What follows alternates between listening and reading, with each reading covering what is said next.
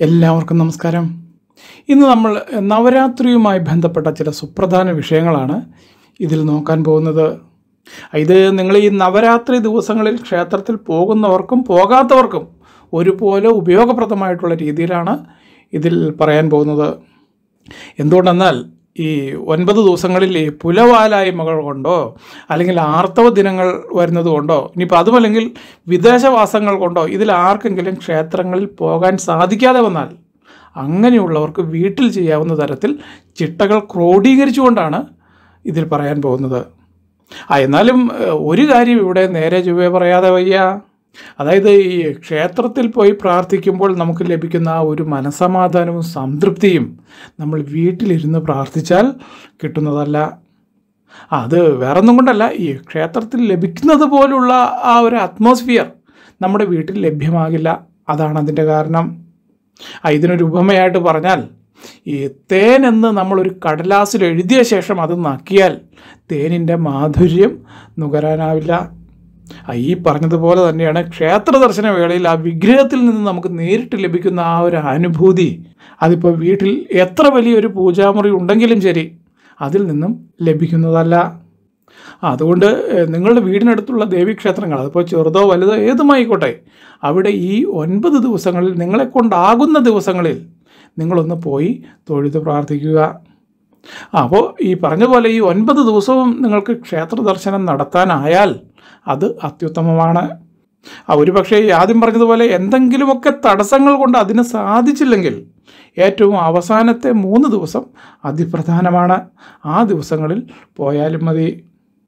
അപ്പോൾ ഇന്നത്തെ ഈ വീഡിയോയിൽ പറയുന്നത് ഈ വരുന്ന അത്യപൂർവ നവരാത്രി ദിനങ്ങളിൽ ചില ദൈവിക കാര്യങ്ങൾ നമ്മൾ ചെയ്താൽ പല അവിശ്വസനീയമായിട്ടുള്ള സംഭവങ്ങളും നമ്മുടെ ജീവിതത്തിലും വീട്ടിലും വന്നു ഭവിക്കുന്നതാണ്.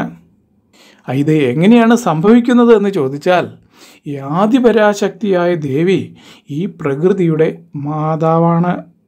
അതുകൊണ്ട് തന്നെ ഈ നവരാത്രി ദിവസങ്ങളിൽ ഈ പ്രകൃതിയാകുന്ന ദേവിയുടെ മടിത്തട്ടിൽ താമസിക്കുന്ന നമ്മൾ മനുഷ്യരടക്കമുള്ള സർവ ജീവജാലങ്ങളെയും സ്വാധീനിക്കാൻ ഈ പരാശക്തിക്ക് കഴിയുന്നതാണ്.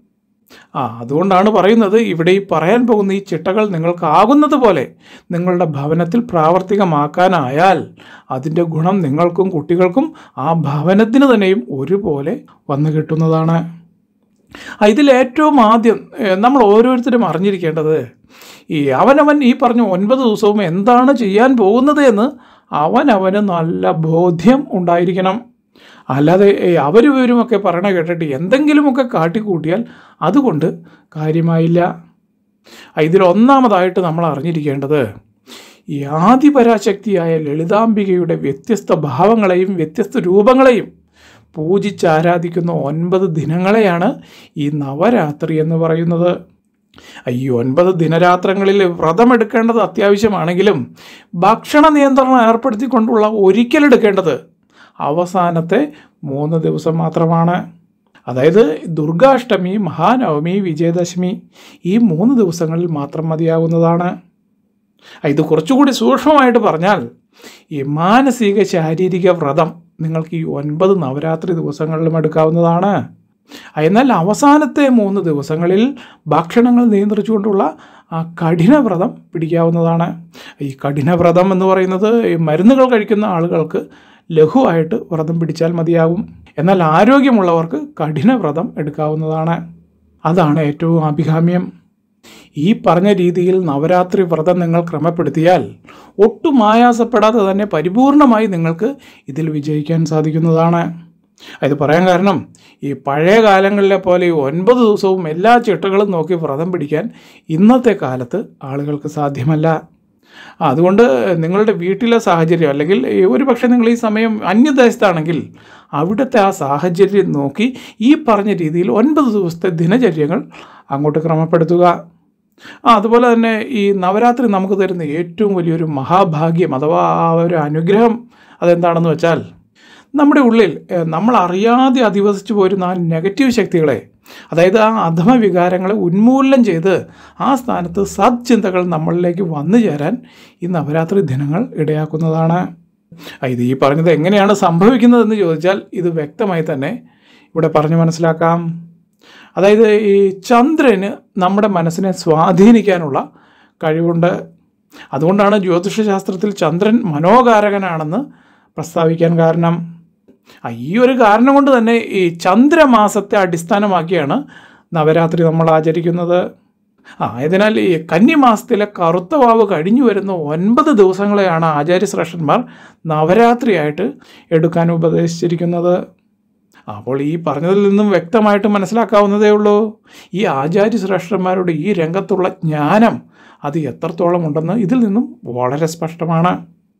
അപ്പോൾ ഈ ഒരു കാരണം കൊണ്ട് തന്നെയാണ് ഇവർ ഈ ഇന്നേ ദിവസങ്ങളിൽ സംഗീതങ്ങൾക്കും കലകൾക്കും പ്രാധാന്യം കൊടുക്കണമെന്ന് പ്രത്യേകം പറഞ്ഞു വച്ചിരിക്കുന്നത്. കാരണം ഇന്നേ ദിവസങ്ങളിൽ നമ്മൾ നമ്മുടെ മനസ്സിൽ എന്താണോ ചിന്തിക്കുന്നത് അല്ലെങ്കിൽ എന്താണോ പ്രാർത്ഥിക്കുന്നത് അത് പതിന്മടങ്ങായി നമ്മളിലേക്ക് തന്നെ തിരിച്ചു വരുന്നതാണ്. ഈ ഒരൊറ്റ കാരണം കൊണ്ടാണ് ഏറ്റവും അവസാന ദശമി നാളിൽ വിജയദശമിയായിട്ട് ആഘോഷിക്കുന്നത്.